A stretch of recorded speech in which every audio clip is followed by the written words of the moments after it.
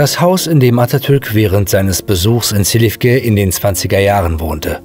Atatürk Haus. Der Ort, der in den folgenden Jahren als Ethnographiemuseum eröffnet wurde, zeigt viele wertvolle Gegenstände von Atatürk. Schlafzimmer, Geschirr, Pistole, Dokumente und Gemälde mit seinem Namen. Ein riesiges Denkmal, das die Erinnerung an den großen Führer widerspiegelt. Atatürk Haus und Ethnographisches Museum.